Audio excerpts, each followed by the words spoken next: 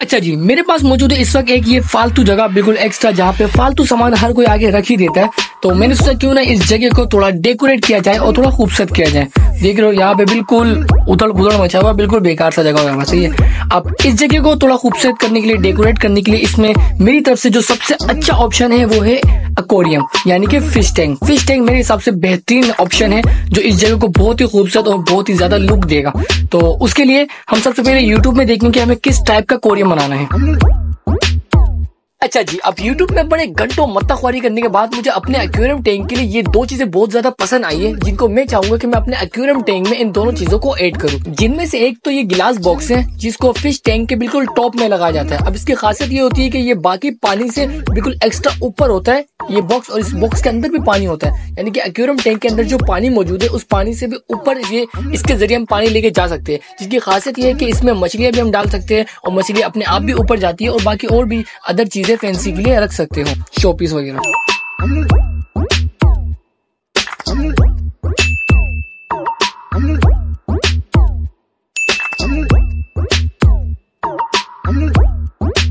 अब दूसरे नंबर पे है ये चीज़। यकीन मानो, ये बनने के बाद बहुत ही खूबसूरत लुक देता है। ये एक तरह से एक जर्नी की तरह लुक देता है। ब्यूटीफुल से एक लोकेशन का लुक जो बनने के बाद बड़ा खूबसूरत लगता है। मैं इसको बनाऊँगा ज़रूर और अपने कोरियो में एड भी करूँगा।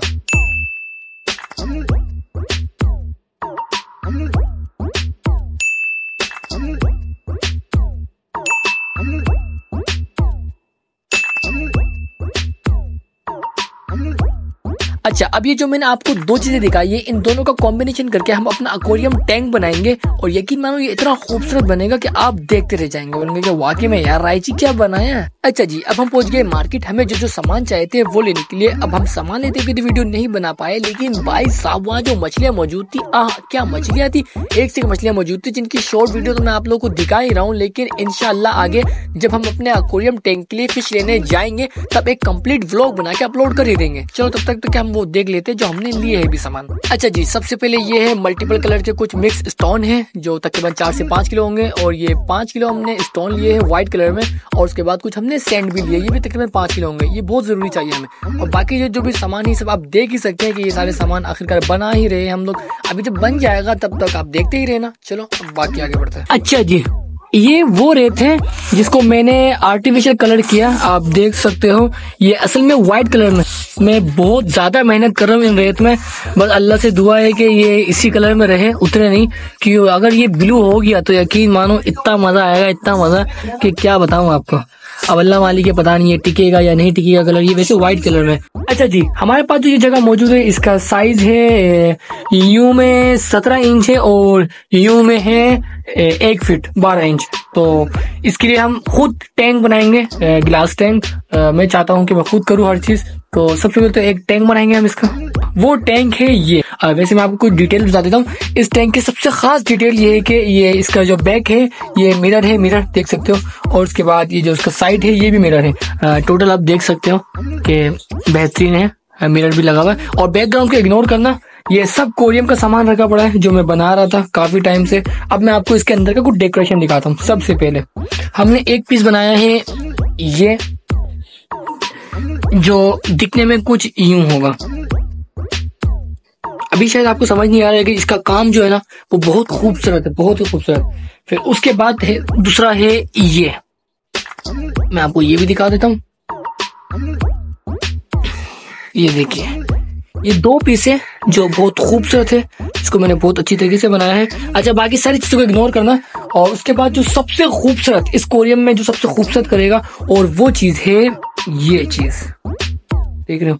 ये एक ऐसा बॉक्स है जो आपको अभी तो फ़िलहाल समझ नहीं आ रहा कि इसका असल में काम क्या है, लेकिन यकीन मानो, यही वो एक चीज़ है जो सबसे खूबसूरत करेगा इस कोरियम को, इस फ़िश टैंक को। ये दिखने में बहुत खूबसूरत है। इसका भी वही सीन है। दो साइड मिरर है और दो साइड नॉर्मल गिलास है। ट्रांसपेरेंट गिलास अच्छा जी सीन ये कि इस फ़िश टैंक में हमें दो चीज़ें रखनी है एक तो मछली वैसी भी रखनी है और उसके बाद मुझे रखना है इसमें टोटवाइज कछुए वगैरह। तो उसके लिए मुझे दो पार्टीशन करना है तो मैंने एक ये चीज़ बनाया है हम्म, यूँ दिखाऊँ क्या?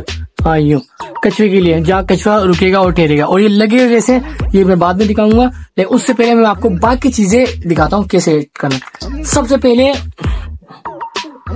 ये जो आपको समझ नहीं आता लगेगा कहाँ पे? असल में ये लगेगा यहाँ पर।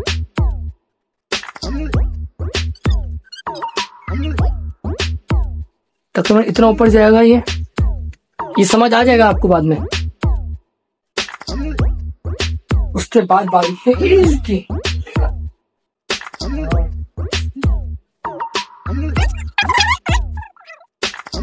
ये सबसे खूबसूरत यही चीज़ देगा, यही लुक देगा।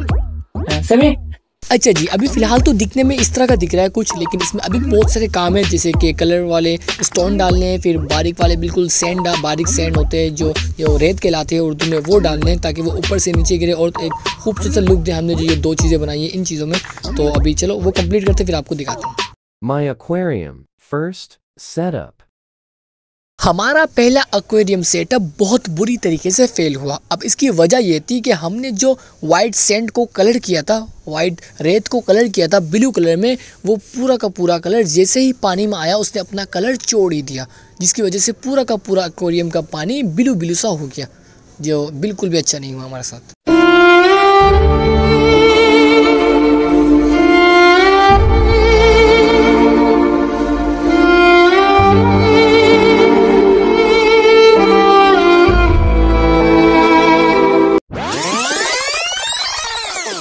अरे अरे, रुको जरा, सबर करो टेंशन में आ गई क्या आप लोग पूरी? अरे टेंशन की तो कोई बात ही नहीं है, क्योंकि आपके भाई ने सेटअप टू भी तैयार किया है। एक बार जरा देखिए सेटअप टू को। My aquarium second setup.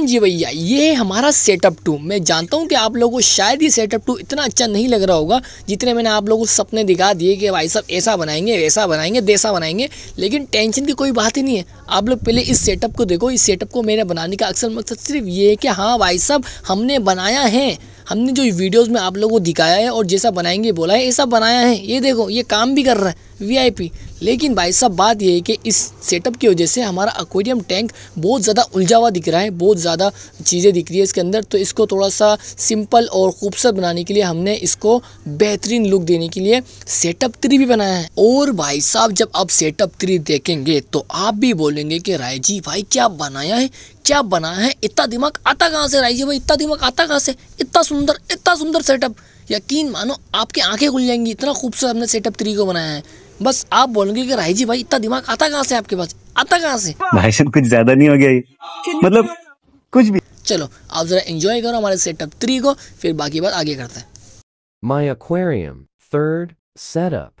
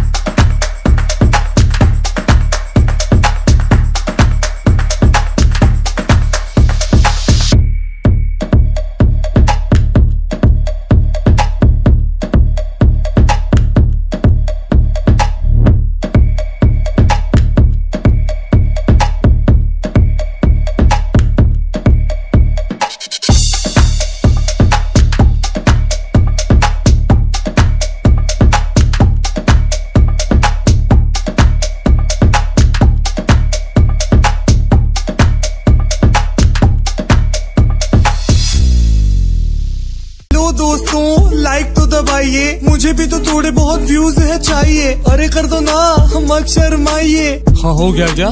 चलो अब जाइए।